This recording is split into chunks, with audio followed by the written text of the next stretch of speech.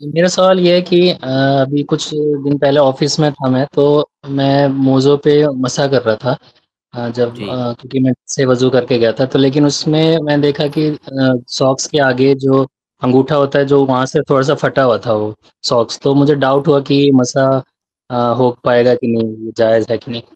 तो ये पूछना था। जी, शुक भाई का सवाल ये है कि अगर मोज़ा थोड़ा-सा फटा हुआ है, तो क्या उस पर मसा करना जायज़ है कि नहीं? जवाब इसका ये है कि बिल्कुल जायज़ है। क्योंकि हमारी शरीयत में मोज़े पर मसा की जो इजाज़त आई है, उसमें ये क़ैद नहीं लगा लगाई गई है कि आपका मोज़ा बिल्कुल सही सालिम होना चाहिए या आपका मोज़ा नया होना चाहिए, पुराना नहीं होना चाहिए, फटा नहीं होना चाहिए, ऐसी कोई क़ैद नहीं लगाई गई है। हमारी शरीयत में मुतलक तौर पर मसा मोज़े पर मसा की इजाज़त दी गई है।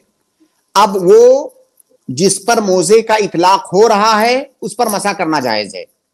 और हम सभी जानते हैं कि मोज़े पर जो मसाह का हुक्म है, वो मबनी अल तख़फ़ीफ़ है। ये तख़फ़ीफ़ के लिए हमारी आसानी और तयसीर के लिए है।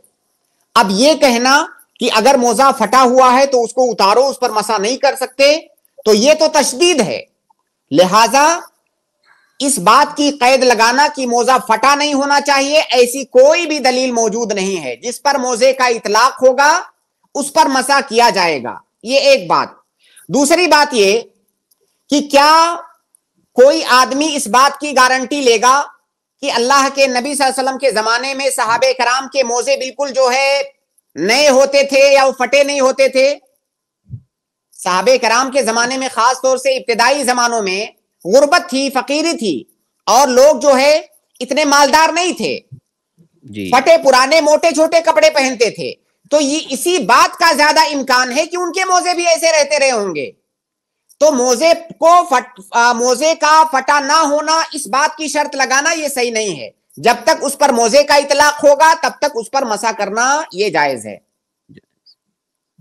शेख एक बार तरीका बता देंगे मोज़े पे मशे मसा करने का? थोड़ा डाउट आता है कि सही से हुआ कि नहीं, तो मैं सोचता हूँ कि ये फिर से कर लूँ। हाथ जी। ये हाथ देख रहे हैं आप हाथ को भिगोएँ उसके बाद ये जो आपका पाँव है पाँव की उंगलियों के पास रखें और वहाँ से लेकर के ऊपर तक ले जाएँ जहाँ तक आप धोते हैं सिर्फ़ ऊपर साइड ना तो साइड में ना तो नीचे सिर्फ़ ऊपर वाला जो हिस्सा है आप यहाँ पर रख करके ऐसे ऊपर तक ले जाएँ ये मसा का तरीका है ये दोनों हाथों से एक साथ ना?